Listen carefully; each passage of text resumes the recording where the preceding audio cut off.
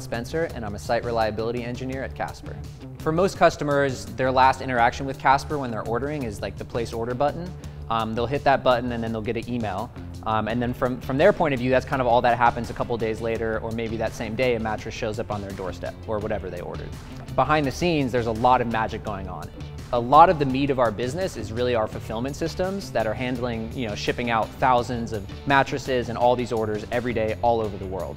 So in New York City, for instance, we have same day courier. So you can order your, order your mattress and get it that exact same day. And we offer that in a couple other cities around the US. But you know, let's say for instance, even if there's a, a customer living in the North Pole, which actually happened once, and they want a mattress, we will do everything it takes to get that mattress there. And if that means hiring a single prop plane and then getting a dog sled team to carry that mattress to that person's front door, which actually did happen once, we will do that. If they had returned it, that would have been pretty unfortunate, but thankfully they liked it and kept it.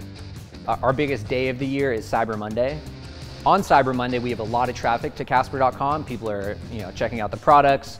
Um, there's a discount code that they'll probably use and then they're, they're checking out. So for them, you know, come end of Monday, that's kind of the end of that front end side of things. But the real magic happens on the Tuesday, Wednesday, Thursday after Cyber Monday or after any of the, these big holiday events. And so as our operations team are trying to fulfill all these orders, we are also releasing new features on our, on our website, releasing new features in our uh, fulfillment management system. And so we need to make sure that along that process, none of our uh, shipment batches that we're dropping to warehouses get stopped in any way.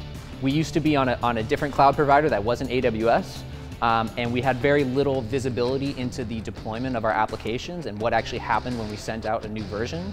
Um, but since moving to AWS, we've been able to fine tune that whole process to our business needs. And so what we do with autoscaling lifecycle hooks is we say, if there is a batch running, we're gonna, we're gonna save that process and let it keep running while at the same time pushing out the rest of the engineer's code.